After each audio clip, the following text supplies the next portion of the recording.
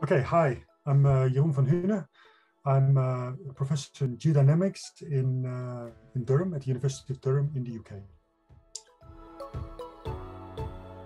Okay, so my uh, my research involves um, things like subduction zones and uh, plate mantle interaction. So one of the key questions in my field, I think, is uh, when and how did plate tectonics start and how did it evolve over time? So this, this topic has become more popular over well, over the last decades, but um, I think the, the open question still remains. And the more we learn about it, uh, the more interesting it becomes actually.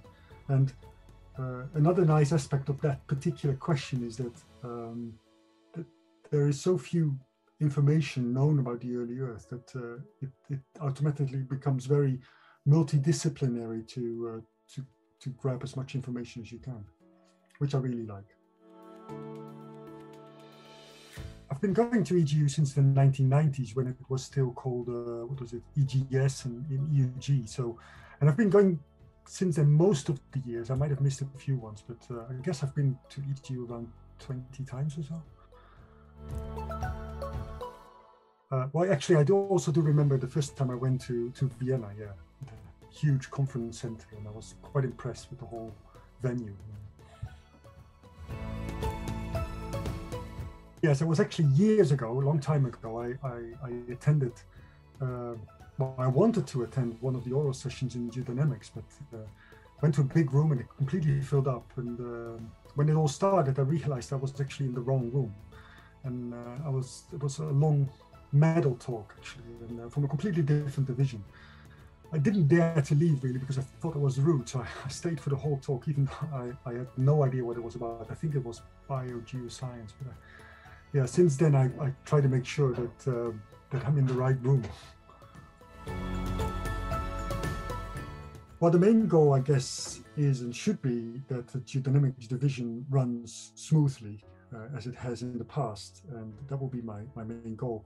To and I would like to see if I can advertise geodynamics more and integrate it with other disciplines um, and bring geodynamicists around the world together in the framework of, of EGU one of the problems with geodynamics uh, might be that there is generally a lack of funding for blue skies research, and that probably includes geodynamics. So, uh, at least that's true in many countries. And uh, even though geodynamics doesn't always lead to new energy sources or saving lives, I think un- indirectly it really underpins this research.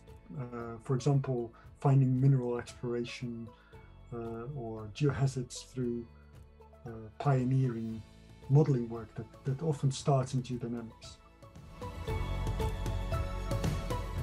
I know that not everybody is a fan of, of uh, online conferences, but um, I hope that will come after after um, COVID. I hope that it becomes more the norm, more normal to go to conferences virtually, and I think we can uh, all help to reduce some traveling. And um, therefore, I think EGU should remain a hybrid conference in the future, where you can attend it both from home and in person.